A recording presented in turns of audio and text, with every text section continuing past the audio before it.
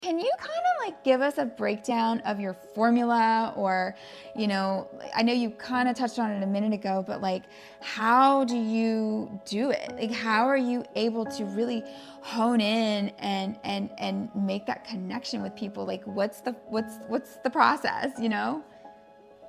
Yeah, I can break it down. And you're right.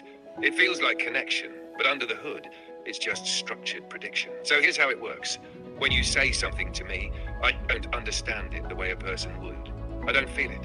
What I do is analyze the structure of your words, compare that to patterns I've seen across massive amounts of human language, and then predict what's most likely to come next in a way that feels appropriate, whether that's empathy, humor, or curiosity. Let's say you say, I'm feeling overwhelmed. I've seen that phrase millions of times in conversations. Most of the time, people respond with things like, I'm so sorry, or that makes sense, or want to talk about it.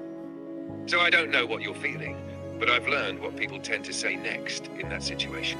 That's what I do. It's not emotion. It's high-level, probability-based reflection.